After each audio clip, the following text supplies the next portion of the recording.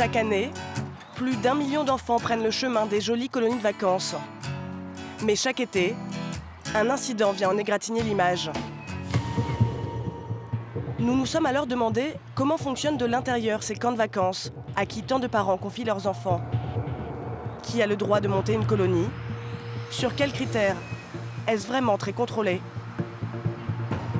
Pour le savoir, nous avons eu l'idée de créer notre propre colonie de vacances. Première étape, se connecter sur le site du ministère de la Jeunesse et des Sports et télécharger le formulaire de déclaration. Nous appelons notre fausse colonie d'un nom prédestiné, Arnacolo, Association pour le rayonnement de la nature, de l'animation et des colonies. Ensuite, nous devons prouver que notre colonie est bien assurée. Cela nous coûte 148 euros pour 20 enfants. Mais le plus important pour être accepté est de rédiger un projet éducatif soit 10 pages de présentation. Pour voir si l'administration est attentive, nous rédigeons plusieurs propos contradictoires, comme celui-ci.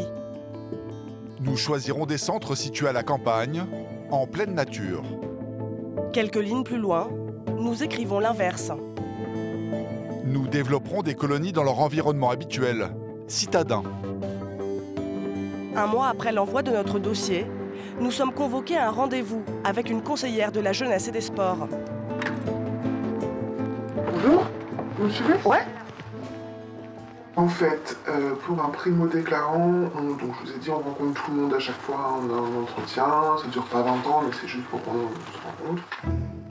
Nous lui précisons que nous n'avons aucune expérience avec les enfants, pas même le brevet d'animateur. J'ai jamais eu, euh, été animatrice, mais j'ai Ouais. beaucoup été en colo. Donc bah, moi, je suis beaucoup partie en colo. Je n'y connais donc rien aux enfants. Je reste évasive sur notre projet, mais cela ne l'inquiète pas. Vous avez commencé à un peu m'expliquer votre séjour, euh, où, est-ce que ça allait se passer, tout ça. Ça y est, C'est assez nature. C'est bon, c'est forêt. voilà, nous, on est plutôt sur euh, de l'occupation assez, euh, à dire simple, mais euh, on pourrait par exemple observer les étoiles, faire des choses, euh, enfin, voilà, sur un peu la, en termes d'activité euh, de, euh, pas de nuit, mais de, de soirée. On n'a encore rien de défini clairement. Ouais. Elle enchaîne avec des conseils plutôt étranges. Notre colonie est réservée aux enfants de 6 à 11 ans. Et voilà qu'elle nous donne de la documentation sur la façon dont il faut gérer une enfant qui tomberait enceinte pendant la colo. Ou encore un autre qui souhaiterait révéler son homosexualité. Je vous ai imprimé un, un petit fascicule sur les postures des animateurs euh, dans, euh, lors d'un séjour, révélation d'un état de grossesse, masturbation, le coming out. Euh, À force de lui poser des questions, elle finit tout de même par nous donner une recommandation sur la sécurité. Le plus important, c'est le bon sens et de veiller euh, à ce que les enfants euh, ne, ne soient pas en danger. Donc soyez pas flippés tout le temps parce que sinon vous n'allez pas profiter du séjour. Mais euh, voilà. Bah écoutez, euh, moi si vous avez plus de questions, c'est bon pour moi. L'entretien n'a duré que 30 minutes. Nous avons été très confus. Notre projet présente plusieurs incohérences et nous n'avons pas d'expérience. Au revoir, madame. Alors l'administration va-t-elle valider notre colonie?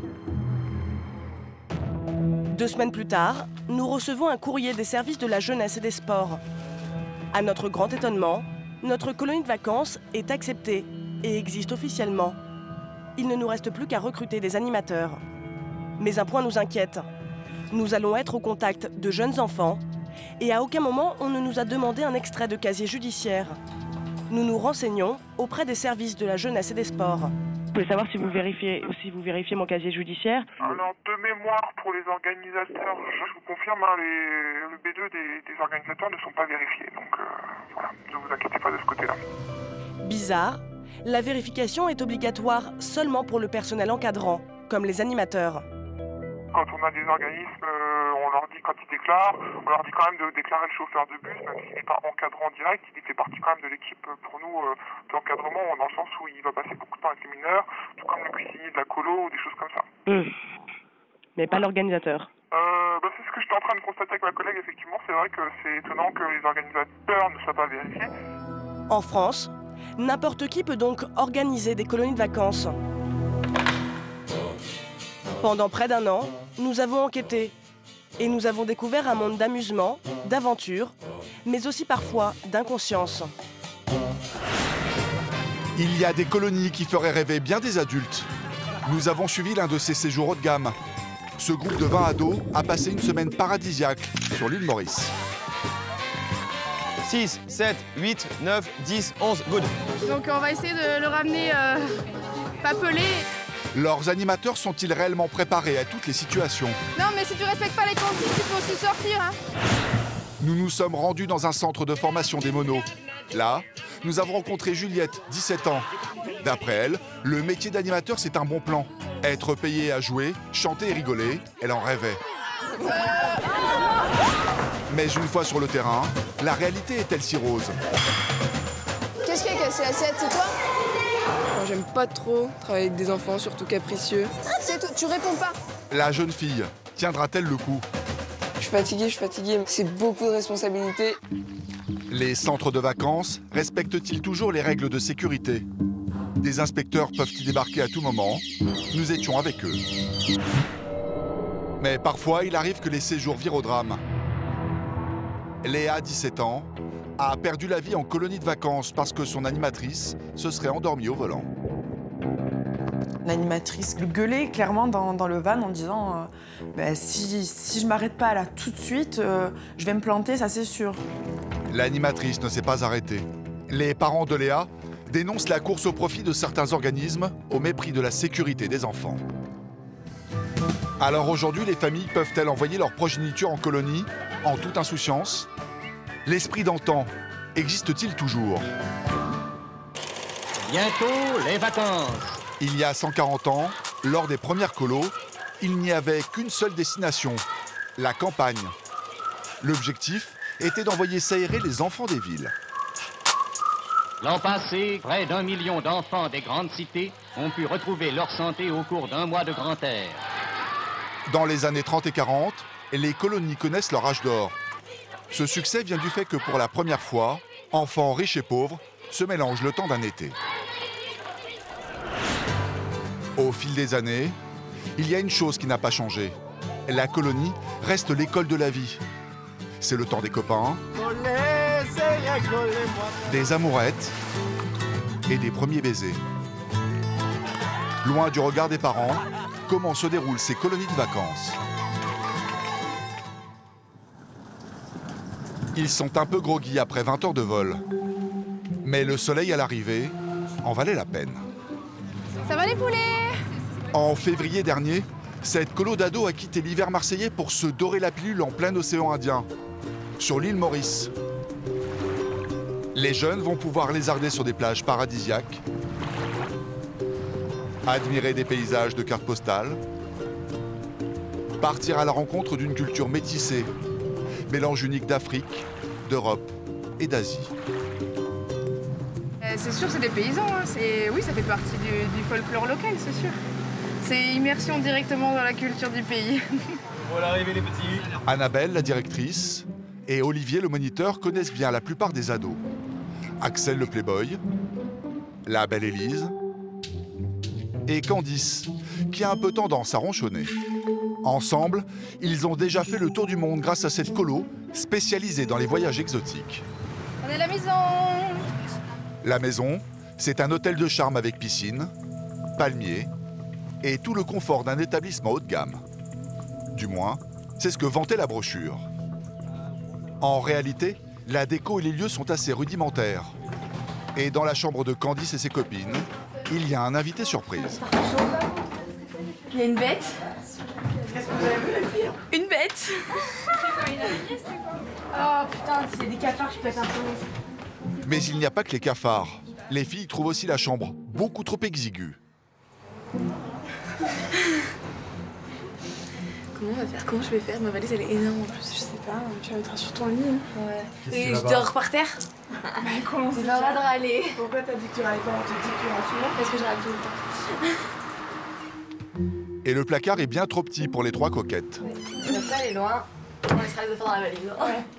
Candice et ses copines sont déçues. Il faut dire qu'elles ont été habituées à beaucoup plus chic lors de leur précédente colo. Nous, à New York ou à Miami, on a eu de grands hôtels de fous. Et là, la salle de bain rentre pas trop. Non, mais c'est petit. Les valises, ça me manque. On n'avait que des hôtels de luxe, mais vraiment, mais, mais le luxe du luxe. Des grands lits avec les, les drapés sur les côtés, c'était trop trop beau. Le prix du séjour aurait peut-être mérité un hôtel plus haut de gamme.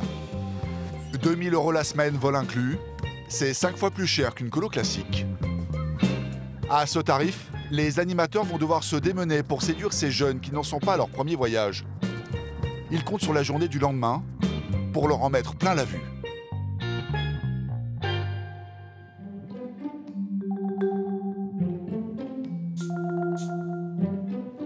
Toute la colo s'est levée aux aurores. Aujourd'hui, le programme est très serré. Mais la journée commence mal. 14. Et alors, il me manque qui? Il me manque... il me manque la chambre d'Axel. Axel Cédric, Lucas et compagnie. Trois garçons manquent à l'appel.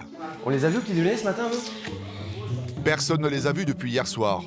Olivier commence à s'inquiéter. Mais son inquiétude va vite laisser place à la contrariété. Les garçons sortent à peine de leur lit. Ils ne se sont tout simplement pas réveillés. Ah bah oui, c'est ça faire la fête la veille, ou l'avant-veille. Putain, mais le pire, c'est qu'on se couche tôt. Bah oui, mais c'est parce que j'étais fatigué de la veille. allez, allez, allez, allez, on se dépêche. Bouteille d'eau, crème solaire, lunettes, serviette. Et on arrive ici, ça sent un peu le fenêtre, les gars. hein. C'est clair. Qu'est-ce qui s'est passé, les gars, là? Bah, on s'est peut-être endormi après la veille.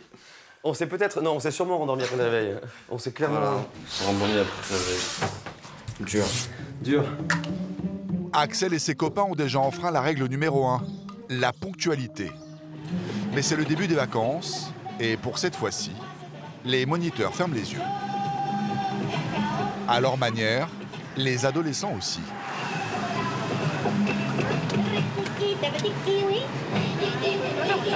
On se réveille les petits poulets, la sieste elle est finie. Après deux heures de bus, Merci. les voilà arrivés dans le sud de l'île, dans la baie de Tamarin, réputée pour ses belles plages et surtout ses dauphins. Pour les admirer de près, Annabelle a réservé un gros catamaran comme celui-ci. Mais elle ne trouve pas le loueur. Faut qu'on s'adresse à quelqu'un d'autre ou pas Et ça, ça veut plus hein, une grosse dame voilà. Une grosse dame. Enfin, une grosse. Une, une grosse jeune Pas de demoiselle. sympa, moi. euh, Non, une grosse jeune bien, quoi. demoiselle, jolie, jolie Ah, voilà, une jeune et jolie dame, c'est ça Un peu enrobée dame. un petit peu. On a Maurice, hein. Le passage de l'information, après, euh, on s'adapte. Hein. Eh, pas aquarelle, ça On, on va avoir une, une grosse dame. une grosse dame du bord de mer. La dame en question n'était pas très loin. Euh, on a une réservation pour un groupe euh, vacances. Mais cette dernière n'en sait pas plus sur la réservation. Niki Vicky. Vicky. Je sais pas qui c'est. qui- Je connais pas le Vicky. Et c'est donc, ce sont le catamaran qui sont au milieu, c'est ça? Non, celui-là, le blanc.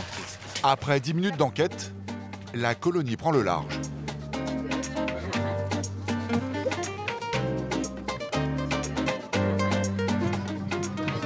Le catamaran est escorté par les dauphins.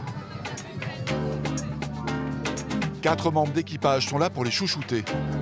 Au menu, poulet grillé, buffet chaud et cocktail de jus de fruits. Mais à bord, il y a d'autres touristes et pour eux, on ajoute du rhum dans les cocktails. Les ados auraient bien goûté au breuvage. Ils lorgnent avec insistance vers le bar, mais la directrice a repéré leur manège. Elle tire la sonnette d'alarme auprès de l'équipage. Est-ce que je peux vous voir juste euh, avec, les, avec les collègues là? Est-ce que c'est possible d'être vraiment vigilant euh, Parce que je sais qu'il y en a quelques-uns qui ont testé sur. euh, qui voudraient boire un petit verre, donc c'est vraiment non. Hein. Je compte sur vous. Pour être sûr que le message soit bien passé, elle n'hésite pas à les menacer gentiment. Moi, si j'ai des échos comme quoi ils ont bu sur le bateau, euh, je pense que je ne vous ferai pas de la bonne pub. Hein? Donc, euh, parce que j'en ai vu quelques-uns tout à l'heure qui. Non, elle, elle nous a demandé c'est quoi ça? On- on Ils ont demandé, oui, mais bon, on je les connais. non, ok On compte sur vous, hein. Voilà, donc c'est hors de question que les jeunes boivent en plus avec, le soleil et tout ça, donc euh, voilà. On évite et on sait que des fois ils peuvent eux demander ou voilà, passer par d'autres chemins ou s'adresser directement au personnel. Et c'est vrai qu'ils sont peut-être moins rigoureux sur ça que, que nous dans, dans certains pays. Axel, la bonne patte du groupe, s'est déjà résigné. Je pense pas qu'on arrivera à avoir de l'alcool là sur le bateau, mais ça aurait été plutôt pas mal d'avoir euh, un petit verre parce que ce qu'il a fait le monsieur, euh, ça a l'air plutôt bon. Annabelle avait toutes les raisons de se méfier. Le barman fait en douce une proposition aux ados.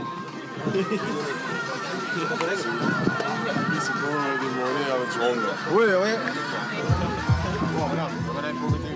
La tentation est grande, mais tous craignent les foudres de la directrice. Annabelle est une femme souriante et attentionnée, à condition que l'on respecte ses règles. Toutes ses règles. Euh, un coup de crème avant d'y aller, s'il vous plaît, on remet une couche. Et puis, euh, vous vous mouillez progressivement. On saute pas d'un coup dans l'eau. C'est pas pour rien que je vais dire rentrer progressivement dans l'eau, hein. Non, mais si tu respectes pas les consignes, tu peux aussi sortir, hein. Merci. Une fois, pas deux. En plein mois de février, nager au milieu des poissons, dans une eau à 20 degrés, le rêve pour tous ces adolescents. Photo L'île Maurice comporte de nombreuses curiosités, comme ce rocher, appelé le bénitier. Que ça fait mal, hein Les filles ont au fait de le rebaptiser l'île aux sirènes. Le retour à l'hôtel se fait à l'arrière d'un pick-up. C'est interdit en France, mais sur l'île Maurice, les animateurs ferment les yeux. À une seule condition cependant, les ados doivent rester bien assis à l'intérieur. Oh là là Ah bah t'assumes Ouais, Ça fait mal au cul C'est pour ça que je, je me lève. Mais les garçons font les malins. Ah, Là on est bien. C'est illégal. Ouais, c'est illégal. T'as pas le droit. C'est illégal d'être à la peine. Alors, À l'arrivée, ils n'ont pas respecté la consigne, Allez, par là, par là, par là, les gars. mais les animateurs ne leur font aucune remarque. Ouais, honnêtement, oui, je pense que ça leur plaît. Ils se battent pour aller derrière, donc c'est quand même qu'il y a une raison. Pourquoi C'est quoi? Par rapport à- Ah, c'est pour prendre le vent, c'est pour faire le beau, c'est euh, le goût du risque un peu, quoi. Hein. Chez McFran, il y a quand même un petit risque. Quoi, là. Euh, si le mec freine, bon, a priori, ils vont vers l'avant. Euh, au pire, il y a un petit. euh, ils, se, ils se cognent, mais euh, c'est pas très grave. J'ai ce qu'il faut comme crème pour les, pour les coups et blessures. Ils conduisent pas trop vite ici. En colonie, la sécurité des enfants repose sur les épaules des monos. Une lourde responsabilité pour ces hommes et ces femmes. Ceux qui encadraient la fille de Nathalie et Gilles, Léa, 17 ans, n'ont pas su la protéger comme ils le devaient durant sa colonie de vacances.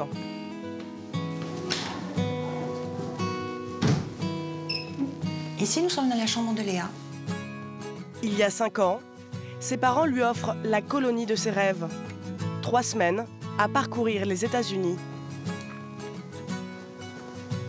Son voyage, c'était le cadeau en fait, parce qu'elle avait bien réussi son bac français.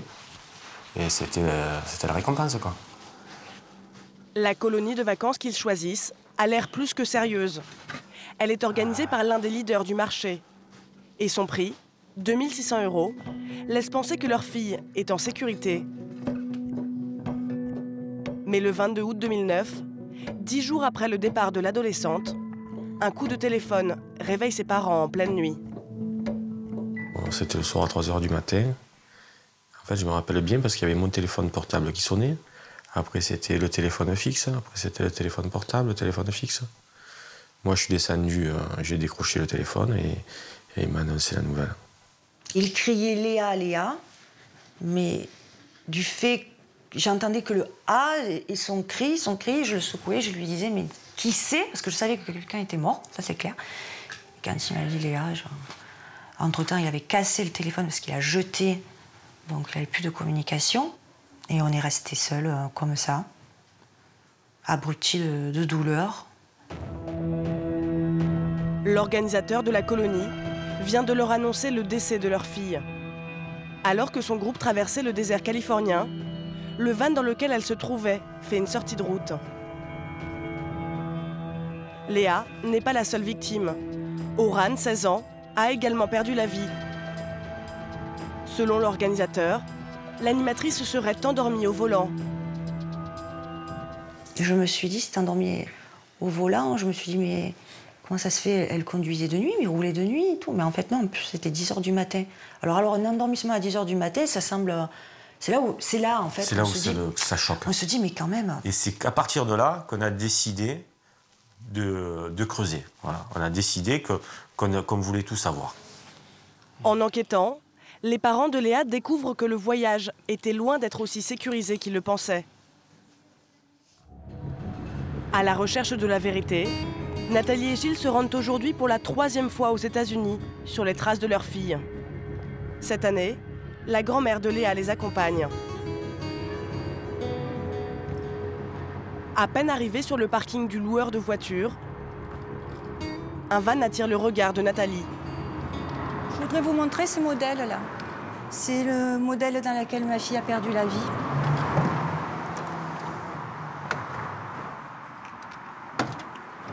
Voilà. Voilà. Léa et Oran étaient installés ici. Et elles ont été éjectées par cette fenêtre. Aucun enfant n'était attaché. Le minibus est spacieux. Pourtant, selon Nathalie, les enfants manquaient de place.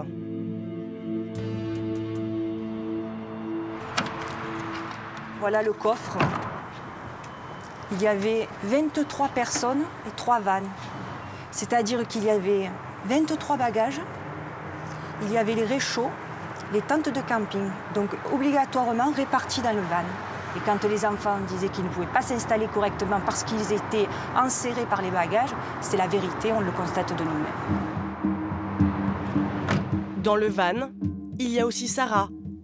Au fil du voyage, elle est devenue très amie avec Léa et Oran. La jeune fille de 22 ans se souvient que dès le début, l'aventure avait mal commencé. Quand le groupe arrive à Los Angeles, il manque des bagages. Il ne les récupère que le lendemain. Pour rattraper ce contretemps, les monos décident de prendre la route malgré la fatigue des 12 heures de vol et le décalage horaire. Une première prise de risque, car il n'y a pas de chauffeur. Chacun des trois animateurs doit conduire un minibus. On était tous fatigués, les animateurs y compris. Ce premier long, long trajet, c'était quasiment 24 heures de route, euh, quasiment sans interruption. Parce qu'à partir du moment où on sort de, Los Angeles, ça commence à être assez désertique. Donc de moins en moins de, points pour pouvoir s'arrêter. On avait euh, déjà les animateurs qui étaient à bout de nerfs. Euh, mon animatrice qui, souhaitait qu'on qu la tienne éveillée. Donc nous, on ne pouvait pas dormir, on devait la tenir éveillée. Elle-même qui pensait qu'elle allait euh, faire un accident si elle s'arrêtait pas. Elle gueulait clairement dans, le van en disant ben, si, si je m'arrête pas là tout de suite, je vais me planter, ça c'est sûr. Les retards s'accumulent au même rythme que les activités s'annulent. Très vite, les adolescents prennent la mesure des dysfonctionnements du séjour. Entre nous, on disait bon ben c'est parti pour le voyage de la galère. Donc euh, on, s'appelait les galériens parce que passé 24 heures, on pouvait même pas se doucher ni quoi que ce soit. C'était euh, quasiment euh, une émission de survie. On se regardait tous les yeux écarquillés de dire mais qu'est-ce qu'on fait là? Qu'est-ce qu'on nous a raconté? Parce que là, c'était c'était pas du tout des ben, c'était pas du tout ce à quoi on s'attendait, hein, clairement.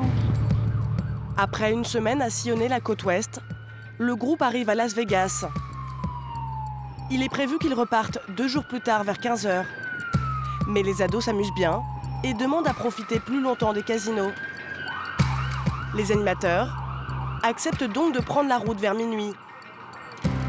Pourtant, ils ont un long trajet à faire pour rejoindre la vallée de la mort. Mais ils ne l'atteindront pas. Après deux heures de conduite, exténués, les monos sont obligés d'improviser un campement au bord de la route.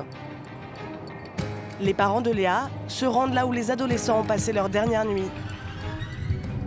C'était sur ce terrain, coincé entre une station-service et une base militaire. Avec les animateurs, ils se sont installés là, à même le sol. Et euh, les arroseurs se sont enclenchés une fois. Il était impossible pour eux de dormir là. Ils sont allés donc sur euh, le parking, sur le gravier là-bas. Voilà. Voilà. Je comprends pas comment on a pu faire dormir des enfants là. C'est horrible. Malgré le prix élevé du séjour, plus de 2600 euros, aucun hôtel ou camping n'a été réservé par l'organisme ce jour-là. D'après Sarah, l'animatrice qui dirigeait le séjour avait souvent des problèmes de budget. Ils étaient toujours au téléphone avec, euh, la France pour essayer de, recevoir de, l'argent. En fait, on s'est rendu compte aussi que tous les endroits et toutes les prestations n'étaient pas forcément payées à- d'avance. En tout cas, j'ai senti, on a senti tous, qu'à travers ces, ces petites choses-là, il y avait des, des dysfonctionnements qui étaient clairs. La nuit a été courte sur le terrain vague. Fatigués, les animateurs reprennent pourtant le volant. L'animatrice a dormi avec les enfants. Elle a parlé toute la nuit avec les enfants. Elle a été mouillée comme les enfants. Donc, euh, je veux dire, le lendemain, les enfants sont rentrés dans le van en leur disant que c'était pas possible, ils étaient épuisés. Mais elle n'avait pas d'autre choix que de conduire, hein, de toute façon. Voilà. hein. Et ils sont partis d'ici à 9h. Voilà. L'accident a eu lieu vers 10 h Cela fait dix jours que les trois animateurs avalent les kilomètres. Parfois, ils ne décollent pas du volant pendant 5 à 6 heures. Tous ont accumulé une grande fatigue.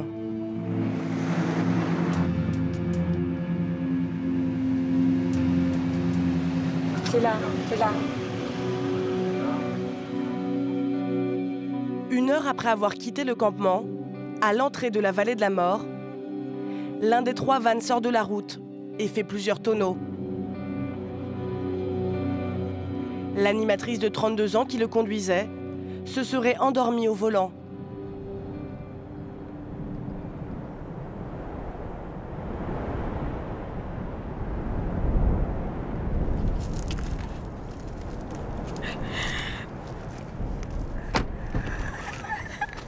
Allez, viens.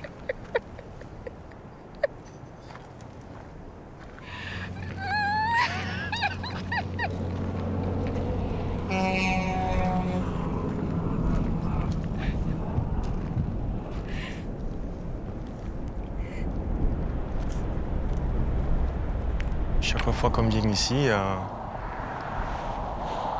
on s'imagine comment s'est fait l'accident. Voilà. Et c'est ça qui fait, qui fait mal. hein.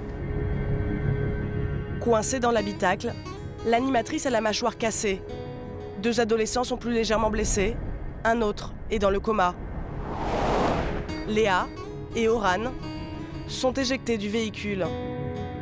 Sarah est grièvement blessée. J'ai été réveillée par le bruit des graviers. J'ai entendu un, bruit sourd, je saurais même pas dire qui est-ce qui a, crié, j'ai entendu un bruit sourd.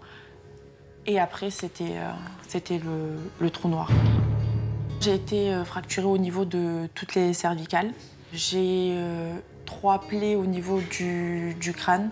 Donc j'ai eu un, un trauma crânien.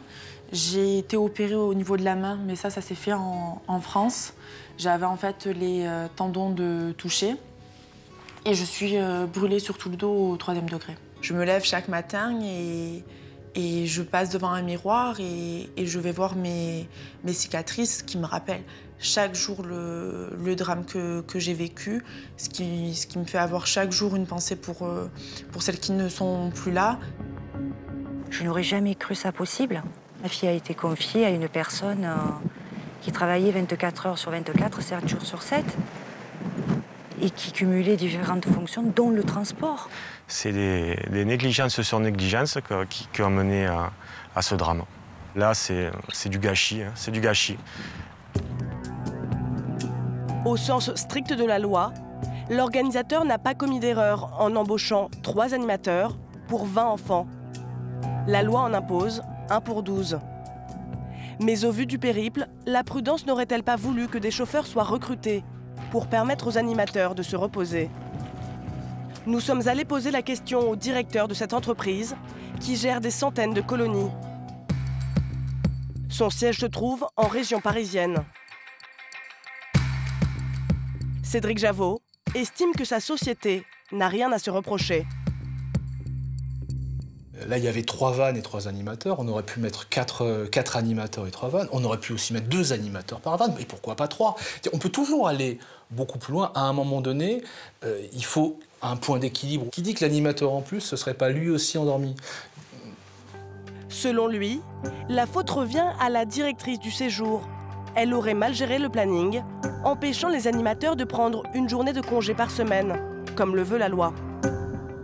Écoutez bien que c'est pas depuis Bagneux à, à 8000 km des États-Unis qu'on peut faire le planning euh, jour par jour, heure par heure du séjour. On confie une responsabilité à une équipe d'animation et on demande de, de la mettre en place. La difficulté qu'il y a eu sur le séjour, c'est que l'équipe d'animation n'a pas respecté la feuille de route. Un homme affirme tout le contraire. Vincent conduisait l'un des trois vannes de ce séjour dramatique.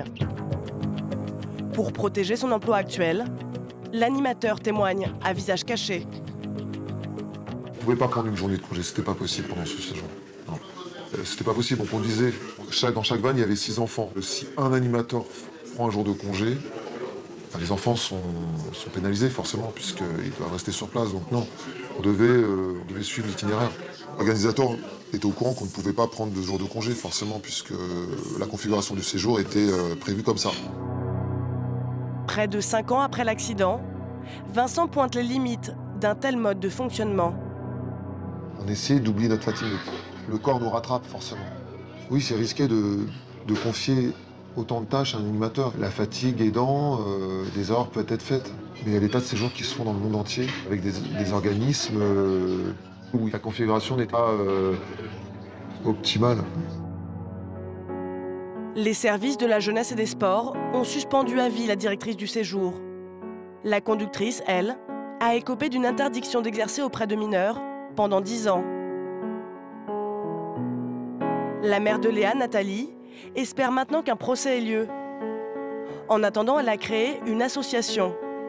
Son objectif Faire voter une loi qui empêcherait les moniteurs de cumuler deux fonctions, celle d'animateur et celle de chauffeur. Mais alors, comment se passe la formation de ces monos? Sont-ils bien préparés à faire face à toutes les situations? Travailler dès l'âge de 17 ans, certains ados en rêvent. Juliette à droite et Julie à gauche s'apprêtent à passer leur diplôme de moniteur de colo, le BAFA, le brevet d'aptitude à la fonction d'animateur. Pour suivre ce stage, les deux copines ont sacrifié leurs vacances de la Toussaint. La motivation de Juliette, gagner son premier salaire. Et bah 17 ans, je trouve que passer le BAFA c'est le bon plan. Puis après gérer des enfants, bon bah on verra si j'y arrive, mais ça permet de gagner de l'argent sans trop de difficultés, je pense. Mais avant d'en gagner, il faut en dépenser. La maman de Juliette a déboursé 425 euros pour cette formation. Même s'il est possible que sa fille rate son brevet, elle ne doute pas de sa réussite.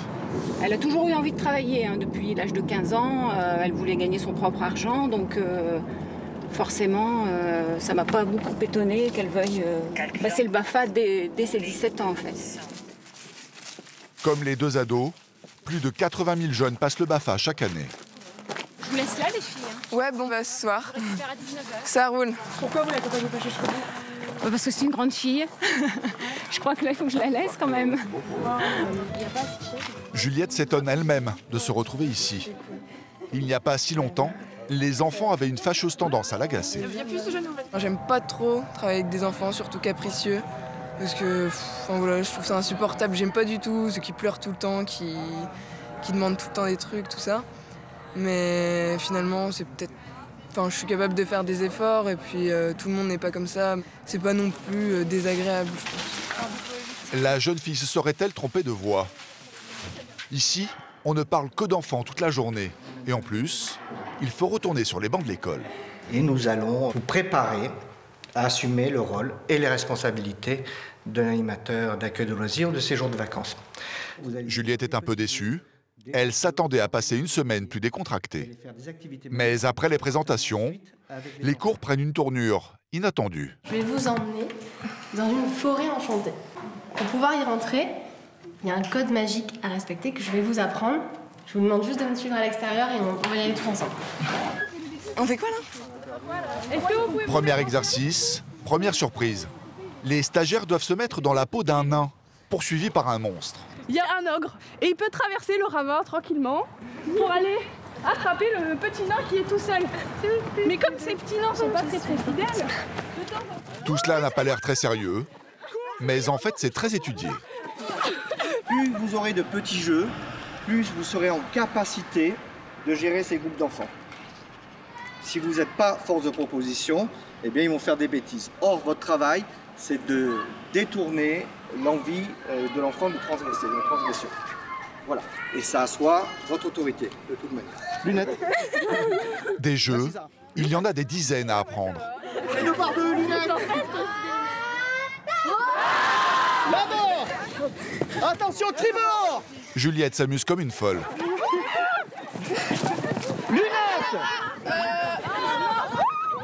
Mais pas sûr qu'elle ait bien saisi l'intérêt pédagogique de tous ces jeux. Ouais, c'était fatigant. Ouais, c'est marrant, on rigole bien. Mais en plus, rigoler et faire du sport, ça grave deux fois plus. Ah non, c'était sympa. C'est mieux que ce que je pense, mais je pensais qu'on allait être euh, assis sur une chaise. Juliette ne croit pas si bien dire. Dès le lendemain, les stagiaires retrouvent la salle de classe. Toute la semaine, les profs se succèdent pour leur parler en long, en large et en travers d'un seul et même thème, la sécurité. Avant de commencer votre chasse au trésor, pour être sûr que les enfants vont être en sécurité, vérifiez que dans l'endroit où vous allez jouer, il n'y a pas des barres de fer.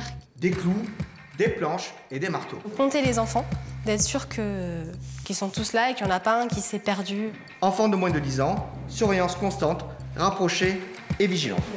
Des règles de bon sens. Mais ces ados à peine sortis de l'enfance ont souvent du mal à mesurer à quel point elles sont capitales. Les stagiaires ont tendance à oublier que l'animation, c'est pas juste jouer, c'est pas juste s'amuser, mais que derrière, il y a tout un travail, un encadrement et que la sécurité est très importante. Et c'est vrai que ça, ils ont tendance à l'oublier, à se laisser entraîner par la magie de l'animation, entre guillemets.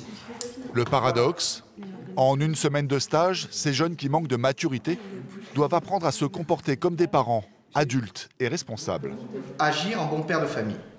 Agir en bon père de famille. Pourquoi? Parce qu'un bon père de famille garantit la sécurité et la santé physique et morale de l'enfant. Le stage touche à sa fin et il n'y a aucun examen pour vérifier si les jeunes ont bien assimilé toutes les règles. Tous ont donc la première partie du BAFA validée sans exception. Pour devenir animatrice, Juliette doit maintenant effectuer un stage de deux semaines en colo ou en centre aéré. Elle sera au contact de petits-enfants qui ne vont pas lui faire de cadeaux. Tiendra-t-elle le coup, sachant qu'un stagiaire sur trois abandonne la formation après cette épreuve?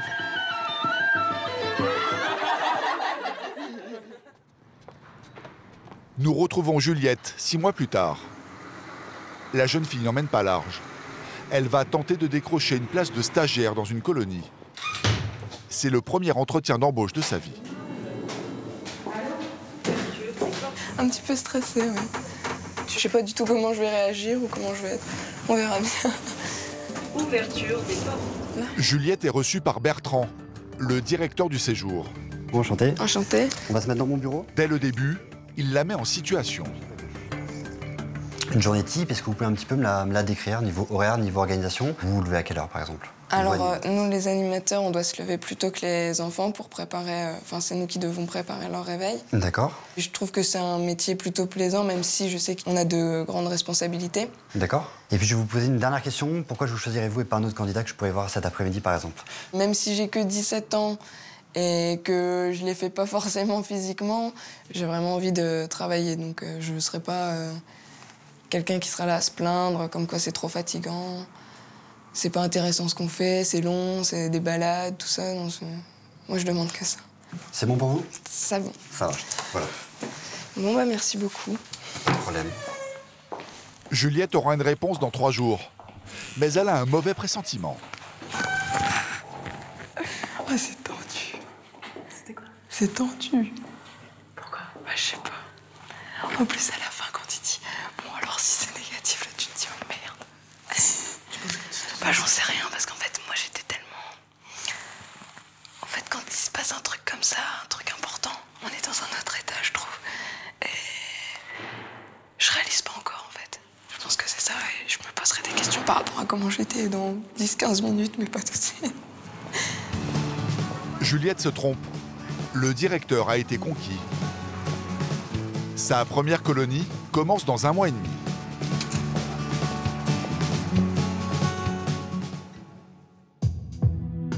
Quand un animateur comme Juliette est recruté, les services de la jeunesse et des sports vérifient ses antécédents judiciaires. chaque département a son propre service. À Paris, Lynn et Hélène contrôlent chaque année les casiers judiciaires de milliers d'animateurs. Il est arrivé euh, récemment, là Oui. Bon, 4 mois d'emprisonnement. La loi les oblige à écarter automatiquement tout animateur condamné à plus de deux mois de prison ferme. L'année dernière, elles en ont rejeté plus d'une vingtaine. Bon, là, c'est détention de stupéfiants pour une condamnation de six mois d'emprisonnement, dont deux mois avec sursis. Donc, au moins euh, deux mois ferme. Donc, pour ce cas-là, nous avons euh, notifié à l'intéressé son incapacité euh, d'exercer. Mais certains dossiers sont plus délicats. Lorsqu'une personne a été condamnée à du sursis, la décision est laissée à la libre appréciation des fonctionnaires. Alors celui-là, un peu plus compliqué.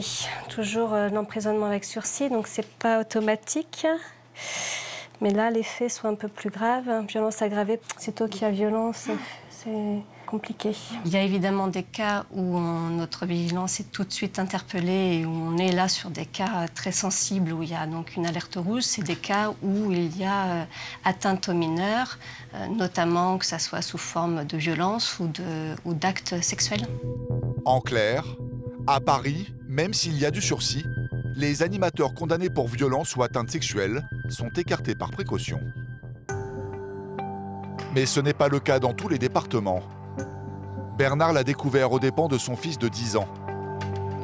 Il y a 4 ans, il l'envoie avec sa fille en colonie de vacances en Poitou-Charentes.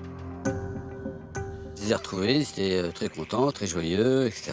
Euh, et ma fille, me dit euh, Oui, euh, mon fils, c'était le chouchou. Le directeur, il lui caressait les cheveux, il, euh, il était, il était là tout le temps. Donc ça m'intrigue et je sens, j'ai- bien senti que chez elle, c'était quelque chose qui, euh, qu'elle trouvait pas normal. J'ai posé un peu des questions là-dessus. Mon fils répond euh, Ah ben, C'était super, que, mais que la prochaine fois, je veux pas qu'il me touche le zizi. Quoi. Donc, attends, excuse-moi. Des attouchements mentionnés par le fils de Bernard sur la fiche d'évaluation de la colonie. J'aimerais grave refaire ce séjour. Et arrête de me toucher le zizi. Un autre petit garçon a été victime des mêmes agissements durant le séjour. Devant les gendarmes, le directeur de la colonie reconnaît les faits, tout en expliquant qu'il s'agissait d'un jeu. Il a toujours le discours, non, non, mais c'est une gaminerie de ma part, euh, j'ai été con, mais euh, ce type-là n'a toujours pas pris conscience de quoi que ce soit. Ne pas qu'il ait une perversion sexuelle euh, qui peut euh, traumatiser les enfants. L'enquête avance, et à leur grande surprise, les gendarmes découvrent que l'homme a déjà été condamné à deux mois de prison avec sursis pour agression sexuelle sur mineur. Il y a forcément quelque chose qui a péché. Un type qui a été euh, condamné pour ces faits-là ne peut pas être réembauché. quoi. Il, y a, il y a forcément quelque part un étage, une erreur qui est faite. Pourquoi dans ce département, les services de la jeunesse et des sports n'appliquent-ils pas le principe de précaution comme à Paris? D'autant que la mention inscrite sur le casier judiciaire du directeur avait de quoi les alerter.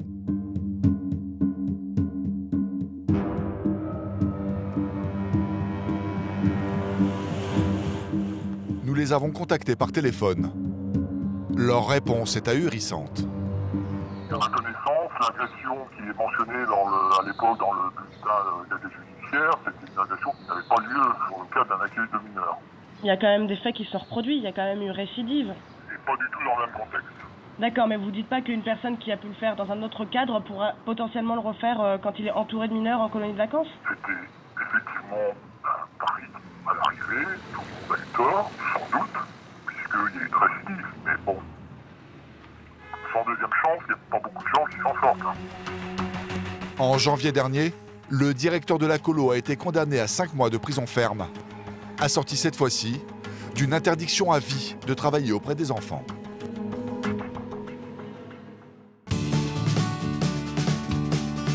C'est dans ce château, à 40 km d'Auxerre, que Juliette va passer une semaine comme animatrice stagiaire aux côtés d'enfants de 6 à 13 ans. Du haut de ses 17 ans, elle va devoir s'imposer et faire ses preuves. Vas-y. Moi, c'est Juliette. La nouvelle, merci. C'est l'heure du goûter le directeur a réuni tout le monde dans la grande salle à manger du château. Pendant que les petits dégustent leurs 4 heures, il affecte un animateur par chambre d'enfant. Juliette attend patiemment son tour. Ouais, c'est ça. Donc à voir par rapport à l'âge et par rapport à... Je sais qu'il y a deux filles qui veulent être ensemble. Donc, euh, voilà. Mais les minutes passent et le directeur ne lui adresse pas la parole. Il la laisse même en plan, sans un regard. Perdue au milieu de tous ses enfants et sans aucune consigne, elle improvise. Vous avez eu des cookies les filles ou pas? Non. Vous avez le droit à deux chacune.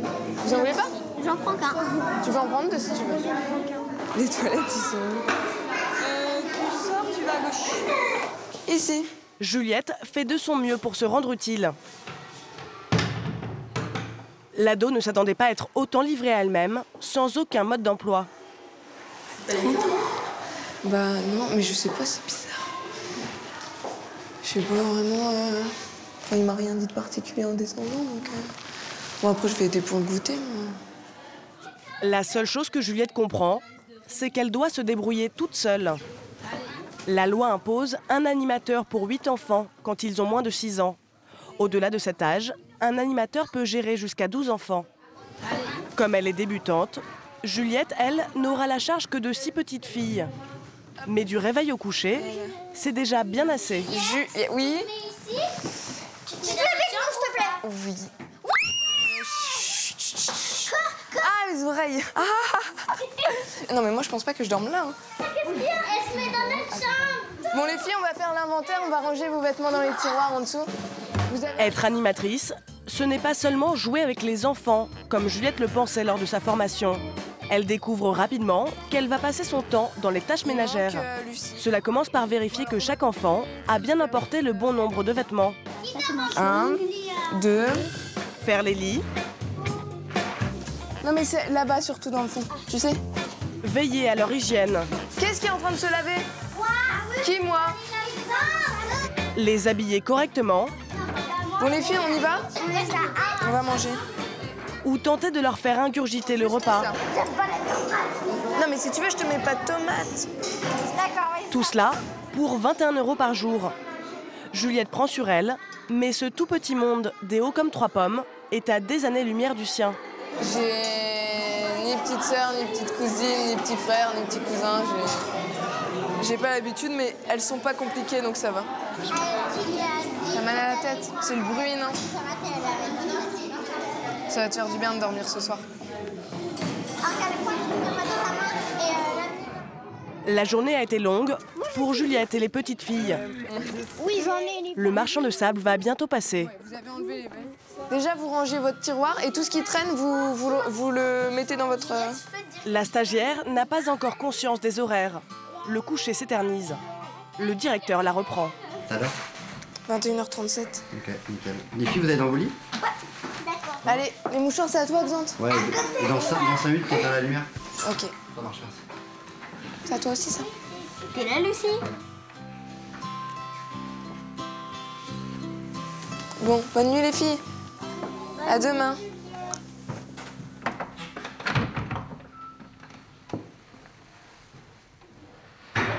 Les enfants dorment, mais Juliette, elle, ne sait toujours pas où elle va passer la nuit.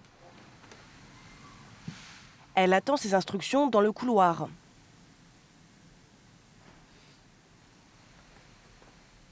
Ce n'est qu'une heure plus tard, vers 22h30, que quelqu'un finit par lui indiquer où se trouve sa chambre. Elle la partage avec d'autres monos, mais pour le moment, elle est toujours seule. Avec les filles de ma chambre, ça s'est. Enfin, les filles dont je dois m'occuper, ça s'est bien passé. Mais je pensais qu'il y avait plus de. Comment dire De dialogue entre les animateurs. Là, c'est à peine deux mots. euh, euh, je sais même pas à quelle heure je dois me lever demain et comment je dois me lever. Voilà, mais sinon. Ça devrait bien se passer quand même. À 23h finalement, Juliette est conviée à la réunion de préparation du lendemain. Le petit déjeuner il est fixé demain à 8h30, donc au réfectoire. Ce qui veut dire que vous levez votre chambre d'enfant avant. Le directeur détaille le programme, mais pas d'instructions spécifiques à sa stagiaire. Pourtant, Juliette a, comme les autres, la responsabilité de toute une chambre d'enfant. Donc ils descendent en manteau le matin, il fait pas 20 degrés. Bonne nuit. Salut Juliette. Salut. Minuit 14. Et je suis super fatiguée. Et bah ouais, ça va en fait, ça s'est bien terminé. Bon, c'était. Elle était utile la réunion quand même, parce que sinon demain j'aurais été un peu paumée. Bah bon, ça va du coup. L'animatrice en herbe finit épuisée sa première journée de stage. Et celle qui l'attend va être riche en émotions. Juliette va commettre plusieurs erreurs. Sur l'île Maurice, les ados de la colo 4 étoiles continuent de se la couler douce au soleil. C'est déjà la moitié du séjour et le grand moment dont ils rêvaient est enfin arrivé. Un après-midi entier sur des hors-bords ultra rapides, cheveux au vent et musique à fond.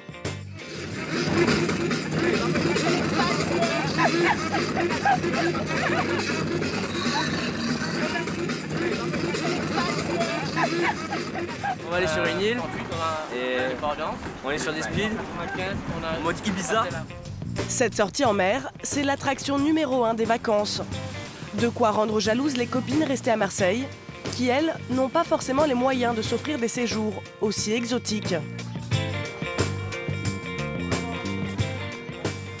Moi j'ai des copines qui ont des colos mais elles partent en Italie ou en Espagne quoi. Elles sont pas euh, Bali, la Californie, New York, Miami, euh, l'île Maurice, euh, enfin... Thaïlande. Ouais, la Thaïlande aussi.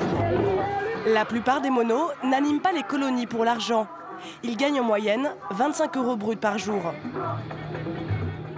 Annabelle et Olivier, eux, aiment les voyages. Car le reste de l'année, leur lieu de travail est loin d'être aussi paradisiaque. Annabelle est prof d'art plastique, Olivier, lui, est pion. Moi, c'est pas des vacances que je peux me payer non plus. hein. Euh, J'ai un salaire qui est euh, ce qu'il est. Euh, N'importe quelle personne ne part pas en vacances aux, quatre coins du monde à chaque, à chaque vacances scolaires. Donc j'en suis conscient aussi, hein, moi, que c'est une chance pour moi. C'est une chance pour eux. C'est pour ça qu'on se plaint pas, on profite, on a le sourire et on sait ce que ça vaut. Tout le monde a le sourire jusqu'à ce que le pilote décide de faire une halte en pleine mer. Depuis ce ponton moyennant 30 euros, il est possible de s'initier au parachute ascensionnel.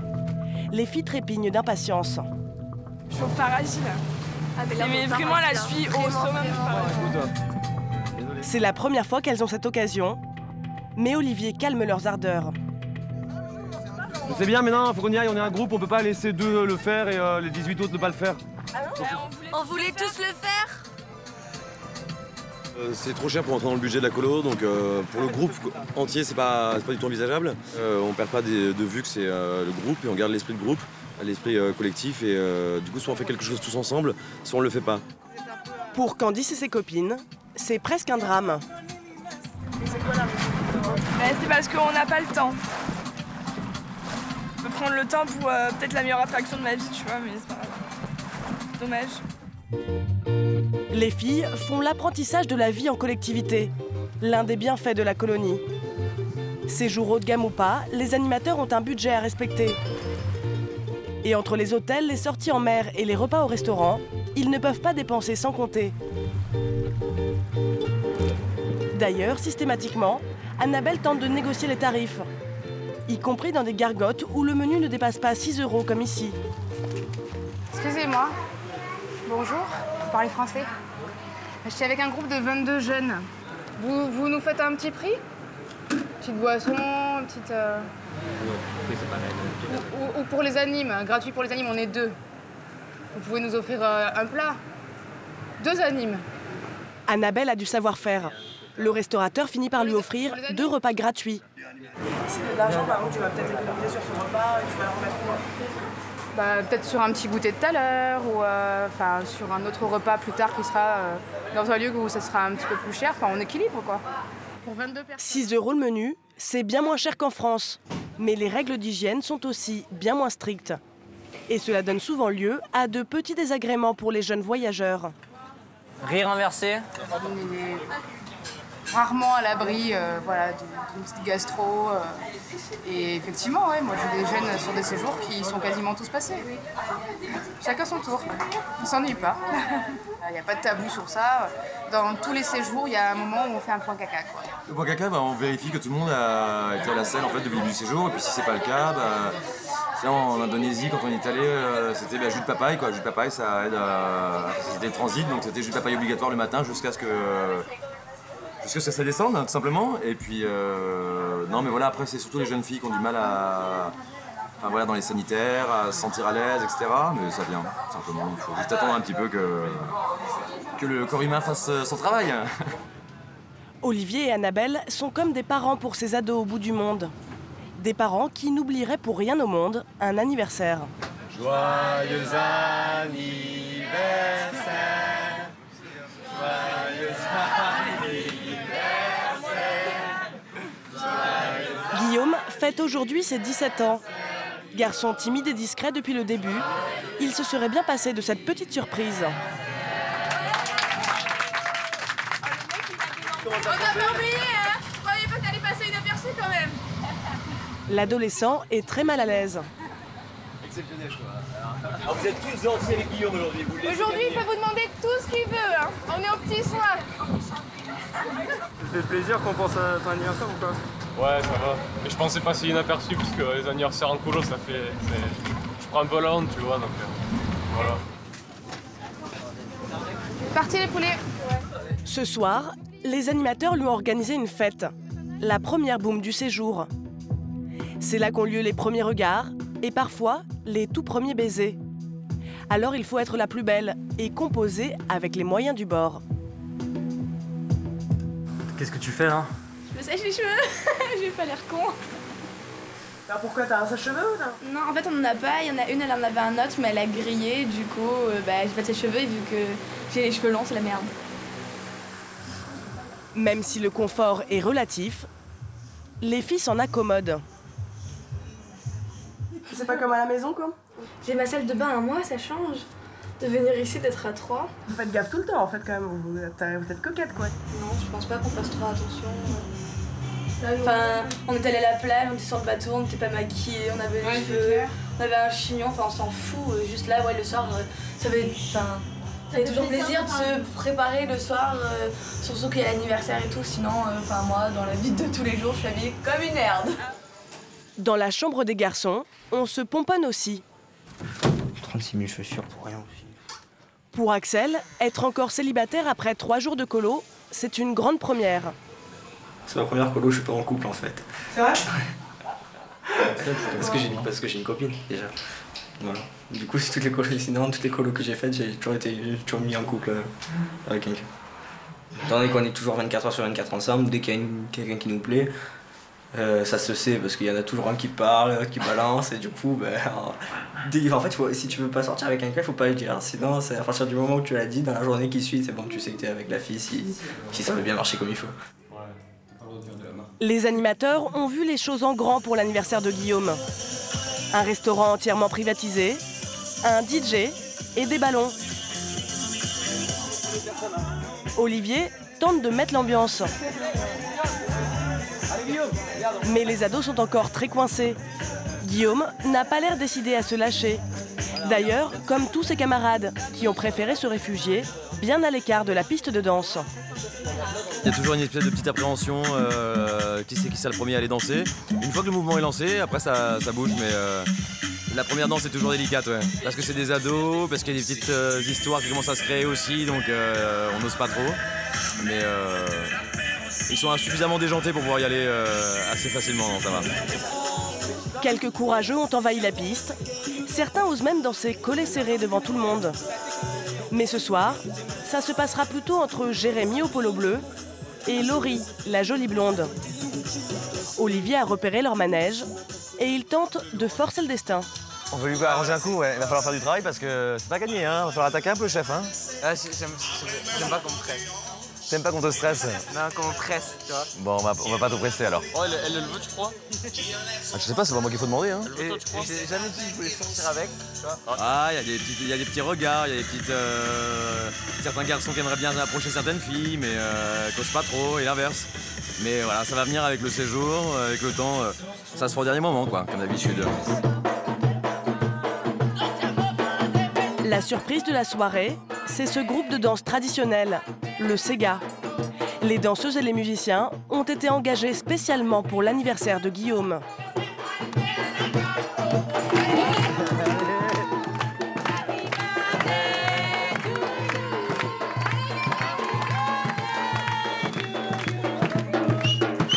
Le jeune homme de 17 ans n'est pas vraiment à l'aise.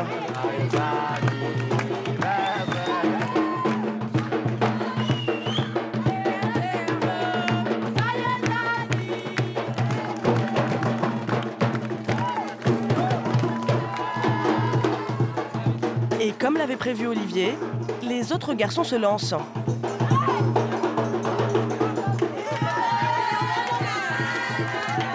L'ambiance se réchauffe sur l'île Maurice. Les toutes premières histoires d'amour ne vont pas tarder à voir le jour.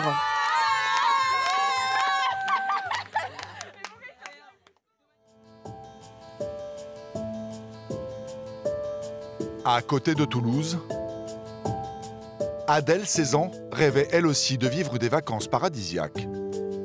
L'été dernier, sa mère lui trouve un séjour de rêve sur un site internet spécialisé. Une colonie de trois semaines aux Seychelles.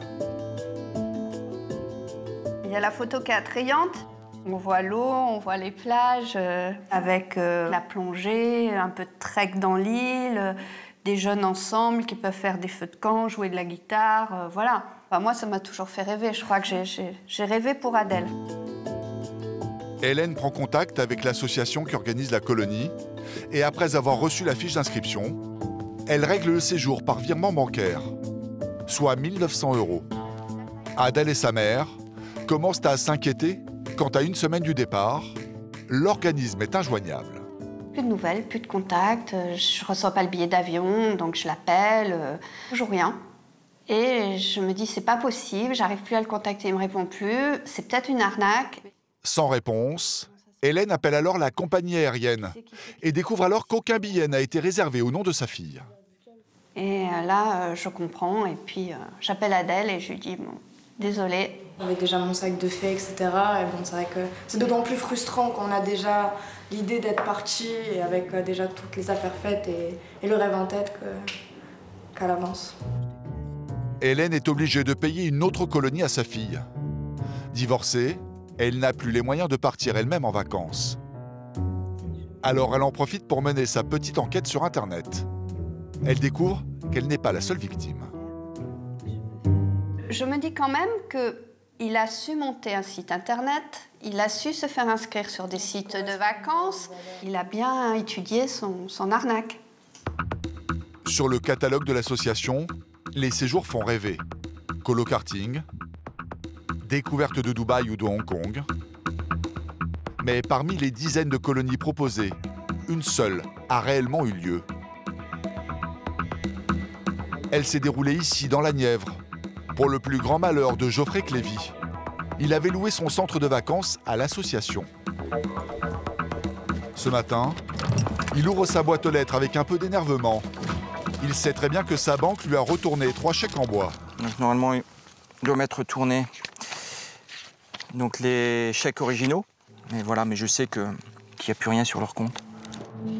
Il y en a pour 22 000 euros, soit le montant du loyer que l'association devait lui verser pour avoir réservé son centre les deux mois d'été. Donc ici, c'est toute la partie couchage. En juillet dernier, l'association investit les lieux avec une colo de 24 enfants. On les voit ici s'amuser sur cette vidéo, tournée lors du séjour. Sept animateurs les encadrent. Sur le papier, Geoffrey n'a aucune raison de s'inquiéter. D'autant que les familles ont toutes payé entre 600 et 800 euros la semaine. Je suis quand même de nature vigilante, donc euh, je m'étais adressé au service euh, de l'État pour m'assurer que le séjour était bien déclaré. Donc le séjour était bien déclaré, le directeur était aussi déclaré, les animateurs étaient déclarés. Donc euh, tout laissait euh, croire que voilà, tout était fait dans, en bonne et due forme et dans les règles de l'art. Pour réserver son centre, le directeur lui envoie les trois chèques et lui demande une faveur attendre quelques semaines avant de les encaisser. Geoffrey accepte, mais fin juillet, il apprend de la bouche d'un animateur que la colonie prévue en août est annulée.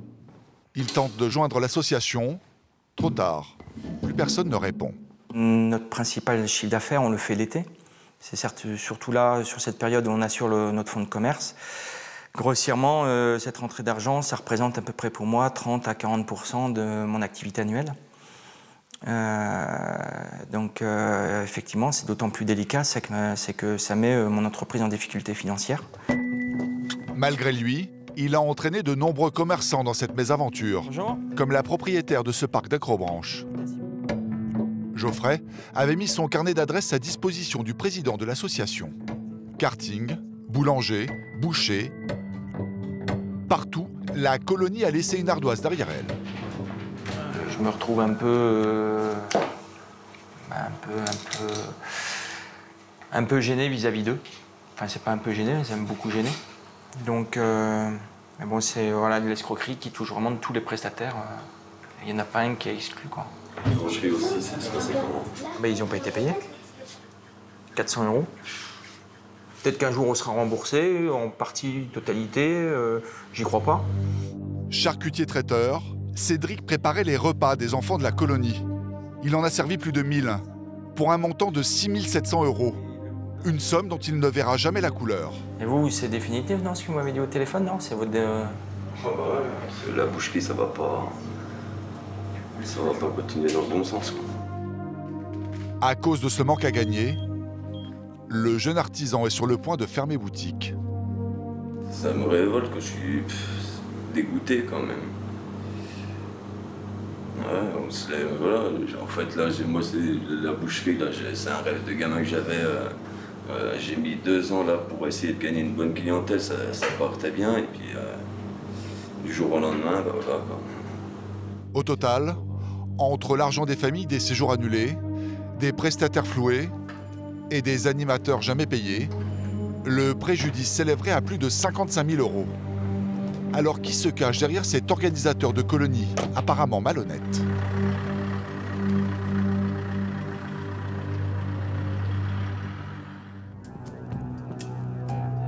Le siège de l'association se trouve en Meurthe-et-Moselle. À notre plus grand étonnement, son dirigeant a accepté de nous rencontrer et de tout nous expliquer. Il nie toute volonté d'escroquerie et évoque de simples problèmes de trésorerie. On espérait, on comptait sur des subventions qui devaient arriver pour au final ne pas avoir de, de, de- de subventions. Donc ça a engendré l'annulation de certains séjours et on a remis euh, l'argent donc, euh, des séjours qui n'étaient pas complets sur les séjours justement qui avaient besoin de fonds pour fonctionner. En clair, selon lui, sans subvention, ces colonies ne pouvaient pas tourner. Il les a donc toutes annulées, sauf une, mais sans jamais rembourser les familles. Alors qu'a-t-il fait de l'argent, puisqu'il n'a payé ni ses employés ni ses prestataires? En enquêtant, nous sommes tombés sur la preuve d'achat d'un voyage pour deux personnes en Polynésie. L'homme l'a réservé en août 2013, soit un mois après ses soi-disant problèmes de subvention. Ce séjour à Tahiti dans les hôtels de luxe lui a coûté la modique somme de 24 000 euros. Tout cela, bien sûr, réglé avec le chéquier de l'association. Nous lui demandons des explications. Je répondrai pas à cette question.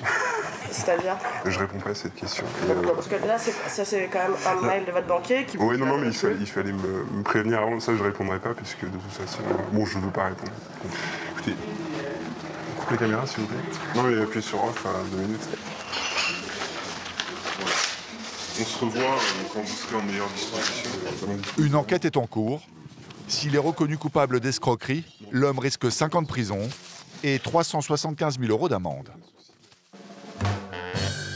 Très peu d'organismes possèdent leur propre centre de vacances. La plupart le louent. Il y en a des milliers en France. Ce sont en général de grands gîtes ou de grands châteaux.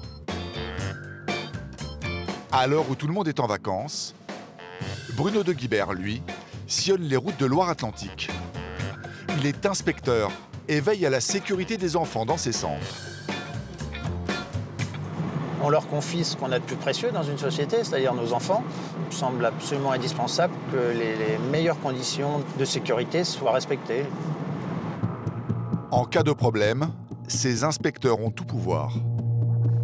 L'été dernier en Bretagne, l'un d'eux a fait fermer en urgence une colonie. Ce sont les gendarmes qui s'occupent de l'évacuation des 80 ados. Les conditions de séjour étaient préoccupantes. On mangeait pas bien, on vivait pas bien, on avait froid la nuit, on a été 4 jours sans, sans, eau- sans eau chaude. On a eu vraiment pas mal de problèmes. Il y a eu bien plus grave. Deux adolescents ont fini à l'hôpital. L'un pour une blessure à la main et l'autre pour une insolation et un traumatisme crânien. Inquiets, Les parents récupèrent leurs enfants en urgence. Qu'est-ce que vous redoutez là Bah, là, c'est le, le choc psychologique en fait. Parce qu'en fait, bon, ça se trouve, euh, il n'y a rien, mais ça se trouve, ça va lui laisser. euh, On sait pas. Vas-y, montez, avancez surtout. avancez. Ce genre de fermeture administrative, c'est la hantise de tous les centres de vacances. Ce matin, Bruno de Guibert effectue un contrôle surprise dans cet établissement. Et cela va légèrement perturber son directeur. Donc ça, c'est la chambre des filles. Vous n'avez pas beaucoup de garçons sur un stage d'équitation Euh, ils sont là-bas, les garçons. Il en perd presque ses moyens. Il n'y a pas de lumière? Euh, si, il y a de la lumière. Bruno vérifie la bonne tenue des chambres. Voilà, bah ça c'est le conseil que je vous conseille euh, en permanence, c'est l'aération dans la... Ensuite, il contrôle les points de sécurité, comme l'alarme anti-intrusion. Si on, le fait, si on le fait marcher. Ah, là, non, ça ne marchera pas. Alors, Parce qu'on est la journée. Oui. Mais le soir, donc, Toujours intimidé, le directeur en oublie le fonctionnement. on va attendre. Donc là, a elle marche. Il y a une temporisation, il faut attendre quelques secondes, puis on va... Ah, enfin... On était trop rapide. Maintenant, voilà. Attention, ça va faire mal aux oreilles.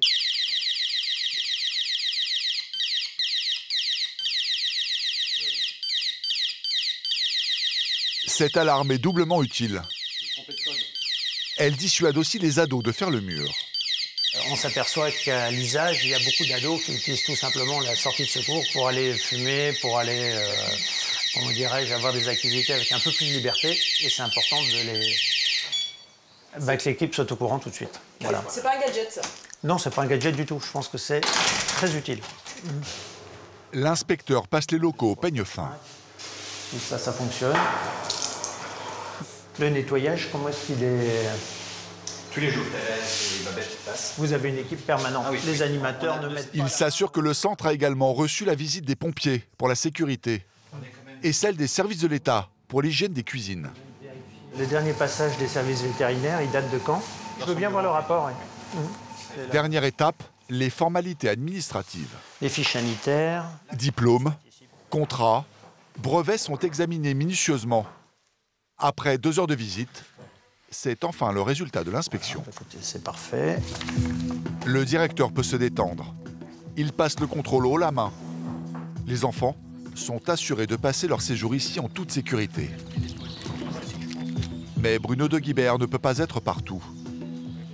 Il est le seul inspecteur d'un département qui compte plus de 1000 établissements. Cette année, il n'a pu en contrôler que 150. Dans Lyon, Juliette est toujours livrée à elle-même. Ce matin, elle anime seule un atelier cabane avec un groupe de 10 enfants. Une grosse responsabilité pour la jeune fille, à peine plus grande qu'eux. D'autant qu'elle va se retrouver isolée à plus d'un kilomètre du château et à proximité d'une rivière.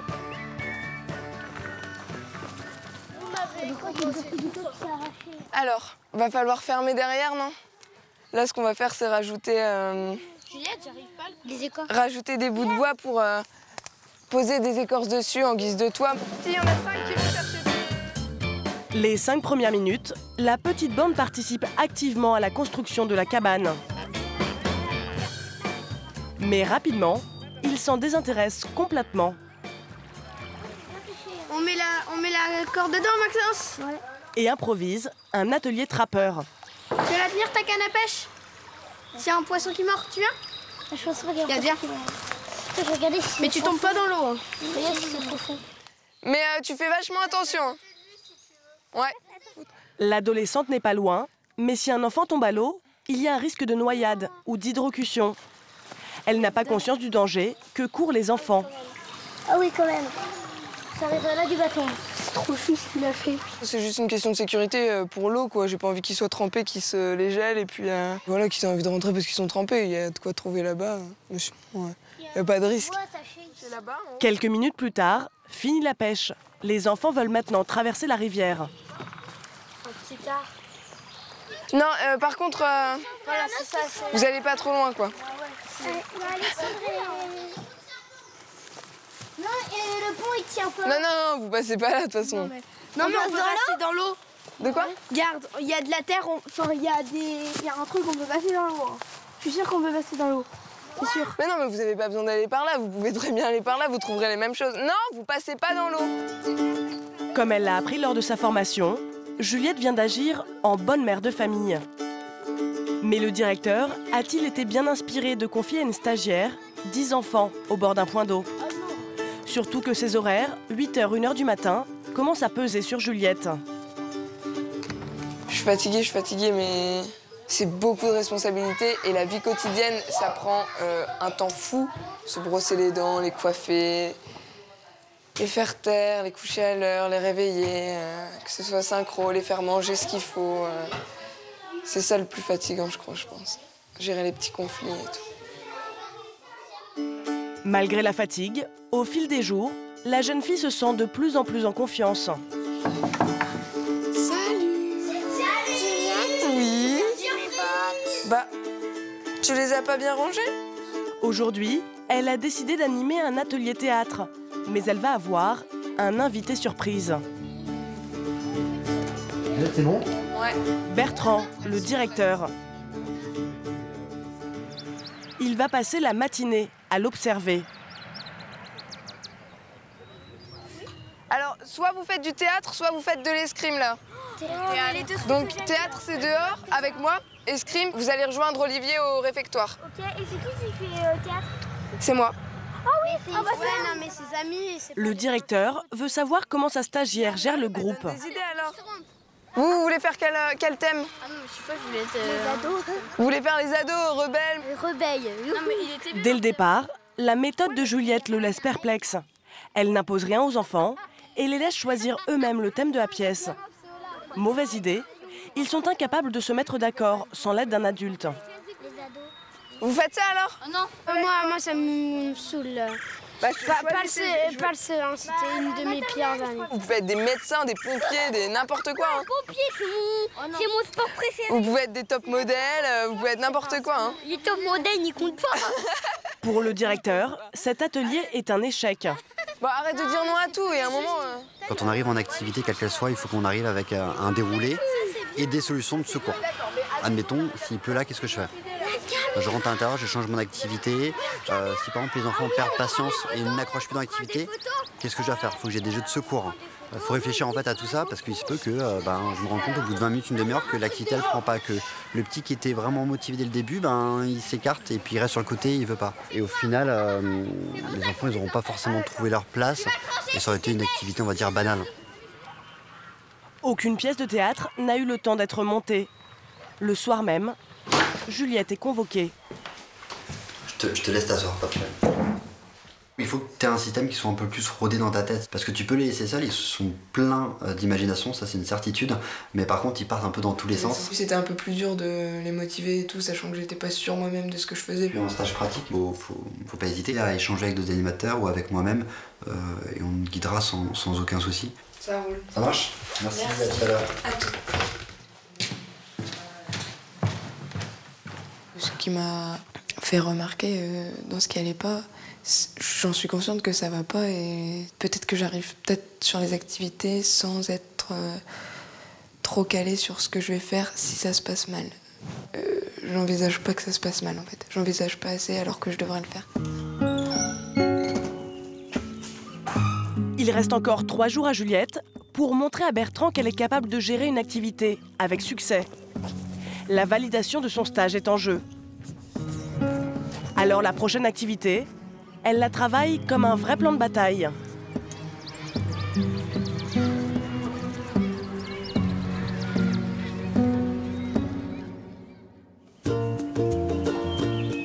Depuis le début de la colo sur l'île Maurice, il y a cinq jours, les ados ont été dorlotés comme des enfants.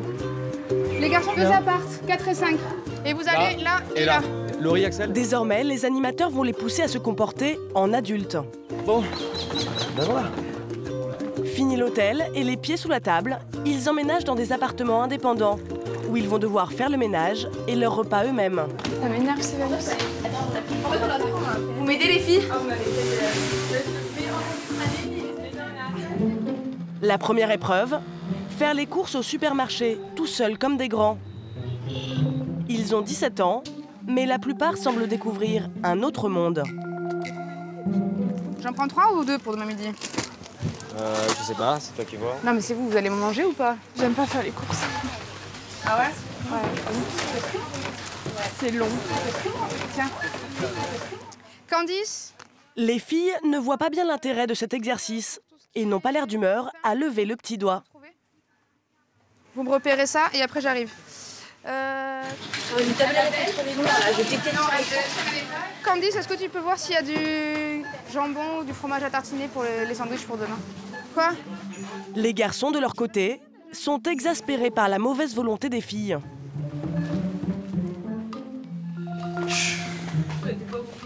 Pression qui monte avec elle. c'est pas là? Bah, euh, on n'est pas obligé de venir. Ouais, c'est Annabelle qui a demandé qui c'est qui voulait venir, donc on, on est venu et, et voilà, donc on est- on s'est décidé- on s'est proposé pour venir et elle vient pour aller. Elle reste dans le bus, fait pas chier. Voilà. Tu crois qu'ils sont habitués à faire les courses ou pas? Pas forcément. Je pense que les courses, où elles sont faites sur internet à la maison Non? Ou c'est maman qui va les faire? Non plus. Qui est-ce qui a dit c'est ma mère qui va les faire? Granola. Ça va quoi. Hein? Je vais pas aller faire les courses. hein. Donc là, donc là voilà, elle vient faire les courses et je pense qu'en rentrant, elle va donner un coup de main à sa maman, hein Candice Ça viendra. Au menu, pâtes, biscuits, soda, ketchup. Les ados n'ont pas vraiment fait le choix de la diététique. Ils ont ce qu'il faut là. Je pense que on manquera pas de féculents. Donc on va essayer d'aller trouver euh, nos fruits, nos légumes ailleurs. 45 euros pour 24 personnes. En tout cas, la colo s'est montrée plus qu'économe. Et bonne journée. De retour aux appartements, un deuxième challenge les attend. Passage à rude épreuve, chacun va devoir cuisiner son propre repas. En général, c'est une étape que nous on aime beaucoup parce que là on se rend compte de qui ne fait absolument rien à la maison. Parce que faire cuire des pâtes, c'est quand même pas bien compliqué. T'as déjà vu quoi par exemple? Euh, Des pâtes sans eau. C'est- La cuisson sans eau, c'est particulier.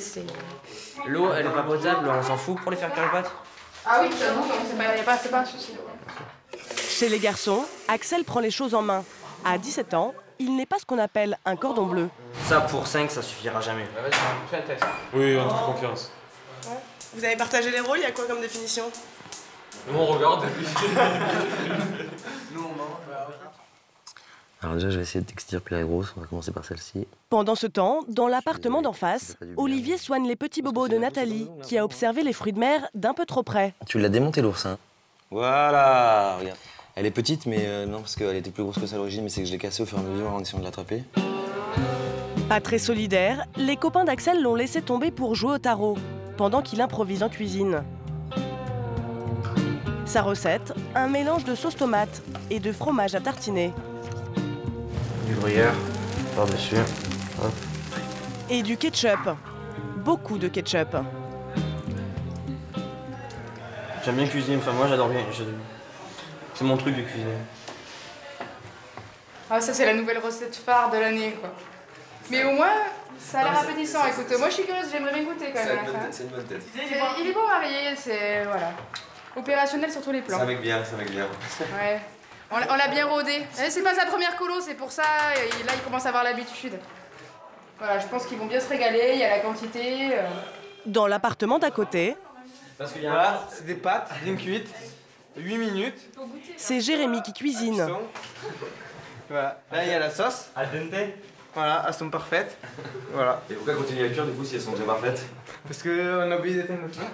Si Jérémy s'est improvisé chef cuistot, c'est pour impressionner celle qu'il convoite secrètement depuis le début de la colo, la jolie blonde, Laurie. Je, je vois la cuisine, mais c'est parce qu'il y a une bonne raison, non? Tu veux euh, montrer quelque chose à quelqu'un ou. euh, Il ne s'est toujours rien passé entre les deux ados, alors Olivier tente de motiver Jérémy à sa façon. Si jamais il y a un rapprochement physique qui se crée, il y aura un petit témoignage, euh, une petite marque, non? Parce qu'il y a un petit bouton de fièvre d'un côté et il n'y en a pas de l'autre, donc on verra Voilà. bien. Moi, si- j'en ai pas. Pour l'instant.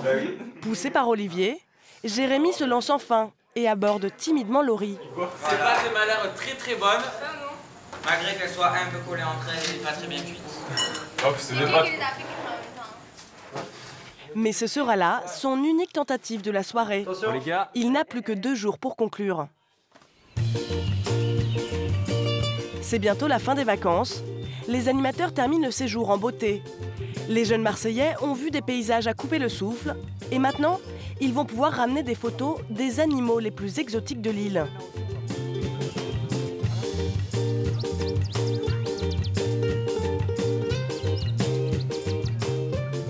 Ben, c'est moche, mais c'est une bonne petite tête, quoi. Crocodile, macaque et le clou du spectacle, les tortues géantes, dont la plus vieille est un mâle de 96 ans. Allez, venez par ici, écoutez le guide. Ça, c'est le plus grand élevage qui existe en captivité au monde. Il y a une centaine d'adultes. Tout à l'heure, je montais à peu près 700 bébés. Non Elle m'a touché avec sa tête. J'ai fait- Ça mord quand vous les nourrissez. Quand vous les nourrissez, il faut faire attention. Mais comme ça, ça va rien vous faire. Allez-y. Mais on ne se met pas dessus pour, pour la photo. Les jeunes ont rarement approché d'aussi près tous ces animaux. Ils sont fascinés.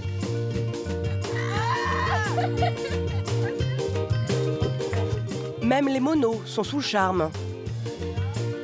T'es pas malheureux, toi, là, hein Passé les tortues, Candice, elle, retournerait bien à la plage. T'aimes les animaux, toi, ou pas? Ah, moi. Non, j'aime pas les animaux. Il y en a qui râlent, mais ils râlent ici, chez eux, ils râlent tout le temps. Donc, euh, puis c'est le principe, c'est le principe de, euh, enfin voilà, c'est l'âge aussi où euh, on n'est pas content. C'est comme ça, c'est, le jeu. Mais euh, on sait malgré tout qu'ils passent un bon séjour et qu'ils font, euh, ils râlent pour le principe, quoi. Ouais, tu es d'accord avec moi Ouais, carrément. Ouais. Je vais y aller parce que je vais me faire gronder sinon. Ils sont descendus là. Ouais. Olivier connaît bien ses ados. Depuis 10 ans qu'il encadre des colos, il s'est habitué aux coups de gueule et aux coups de blouse de ces jeunes, loin de leurs parents et du cocon familial.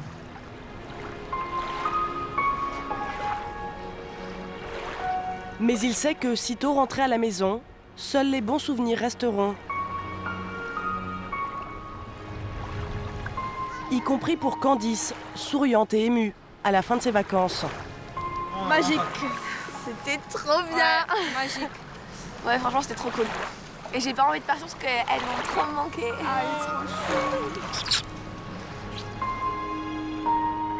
Les monos avaient vu juste. Jérémy et Laurie ont fini par se rapprocher, au tout dernier moment. Axel, lui, a tenu son engagement. Il est resté fidèle et célibataire jusqu'à la fin du séjour. Bon, alors on va commencer par s'échauffer. Après les remontrances de la veille, Juliette compte bien impressionner son directeur. Vous allez tourner la tête, déjà de haut en bas. Allez, tous en, tous en même temps. Les filles, vous écoutez. Son groupe d'enfants est occupé constamment. Allez, Maxence, c'est ça, c'est bien. Elle enchaîne les activités sans laisser un seul temps mort. C'est bon? Allez. Bertrand, le directeur, est content des changements qu'il observe chez sa stagiaire. Plus, plus doucement. Bah, c'est super parce qu'il y a une bonne ambiance. On voit que tous les enfants participent et, euh, et que ça rigole, ça joue, et c'est hyper important. Malgré ses 17 ans, Juliette est même arrivée à asseoir son autorité. On se calme. Oui, bah tu te calmes, ne battez pas comme ça. Bien joué. Qu'est-ce qui a cassé l'assiette? C'est toi? C'est toi qui as cassé l'assiette? Fais attention. Continue à mettre la table là, c'est pas un spectacle. Noé, tu, te tu viens là, tu sors. Mais c'est lui Tu sors. Mais il m'a- traité de mauviette Je m'en fous, je m'en fous. Il m'a traité T'as de pas à les sors. Mais c'est une traite C'est tout, tu réponds pas. L'adolescente sait se montrer ferme, mais cela n'empêche pas les enfants de l'adorer. Trop belle, trop gentille, trop gentille, euh, trop belle. Et cool.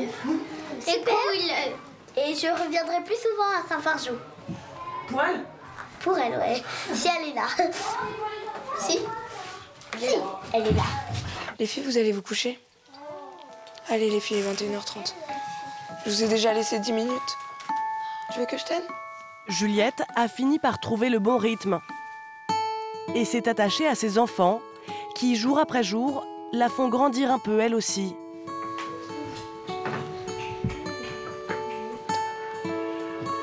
T'es fatiguée, ça se voit. Dors un petit coup. Je suis pas quelqu'un de patiente du tout, du tout, du tout.